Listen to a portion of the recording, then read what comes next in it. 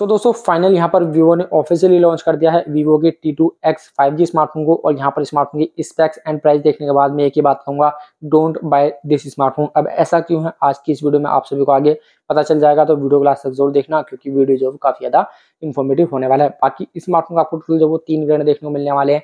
जो base variant है, वो आता है यहाँ पर आपको four G RAM plus one twenty internal storage के साथ एंड सेकंड वेरियंट आता है six G RAM plus one twenty eight G storage के साथ. थर्ड वेरियंट आता है eight G B RAM plus one twenty eight G storage के साथ. बाकी अगर हम बात करें स्पेक्स वगैरह की तो यहाँ पर जो प्रोसेसर है, वो ब्रांड न्यू प्रोसेसर आपको देखने को मिल जाता है, जो कि मीडिया टेक की तरफ़ से आता है. Media MediaTek Dimensity six zero two zero यहाँ पर एकदम ब्रांड न्यू प्रोसेसर है. अगर हम बात करें कि यहाँ पर आपको जो परफॉर्मेंस है, वो किस तरह की मिलने वाली है तो आप इसको कंपेयर कर सकते हैं। मीडिया टेक की डायमेंसिटी सेवन हंड्रेड प्रोसेस है बिल्कुल उसी के जैसे यहाँ पर आपको परफॉर्मेंस मिलने वाली है और उससे फाइव परसेंट एक्स्ट्रा परफॉर्मेंस यहाँ पर आपको मिल जाएगी।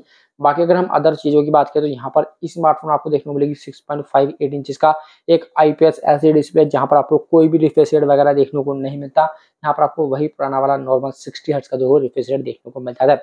अब आज के समय में आईपीएस आप यूज़ कर रहे हो और वो भी इतनी हाई प्राइसिंग में तो यहाँ पर कम से कम 90 हर्ट्स या फिर 120 हर्ट्स तो प्रोवाइड कराना चाहिए था। लेकिन 120 हर्ट्स प्रोवाइड नहीं करा सकते तो 90 हर्ट्स तो एटलीस्ट प्रोवाइड कराना ही चाहिए था इस स्मार्टफ़ोन में। तो डिस्प्ले की सबसे बड़ी कमी ये लगी।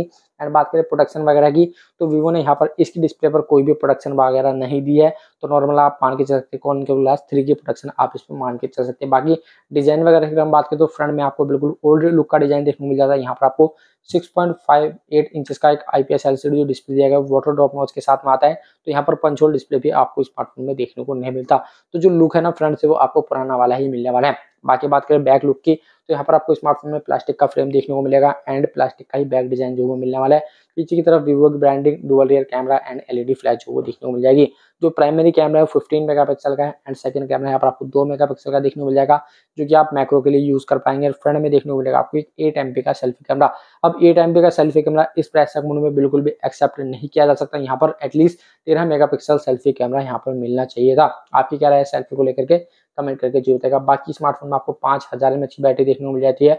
यूएसबी टाइप सी पोर्ट के साथ में 18 वॉट का फास्ट चार्जर भी दिया गया है। साइड माउंटेड फिंगरप्रिंट स्कैनर देखने को मिल जाता है और बाकी अदर चीज़ें जो सभी देखने को मिल जाती है। Out of the box Android thirteen भी दिया गया बाकी अगर हम बात करें प्राइस वगैरह की तो उसका जो बेस वेरियंट है four G RAM plus one twenty internal storage वो यहाँ पर आपको तेरह हज़ार रुपये में देखने को मिलता है।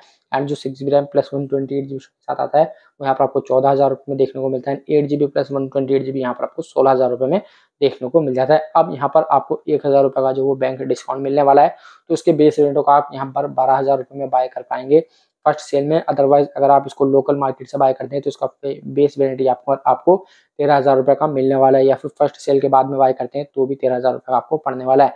तो यहाँ पर मेरे हिसाब से करीब करीब ये दो हज़ार रुपये ओवर प्राइसिंग स्मार्टफ़ोन बन जाता है एंड स्पेक्स भी उतनी अच्छी नहीं है। तो आपकी क्या राय है इसके बारे में कमेंट करके बताएगा मेरा हिसाब तो ये है कि आप स्मार्टफ़ोन को बाय ना करें। अगर आपका बजट है तो एक दस हज़ार रुपये और डालकर आप पंद्रह हज़ार रुपये अच्छा फाइव जी स्मार्टफ़ोन बाय कर सकते हैं, जिसमें यहाँ पर आप अच्छी खासी गेमिंग भी कर सकते हैं। बाकी अदरवाइज़ जो भी आपका ओपिनियन है, हमें कमेंट करके बताइएगा। अगर आपका हमें कुछ सवाल या सुझाव हो तो उसे कमेंट कर देना। अगर आप इस स्मार्टफ़ोन का किसी और स्मार्टफ़ोन के साथ कंपेरिजन देखना चाहते हैं तो वो भी कमेंट करके बताना।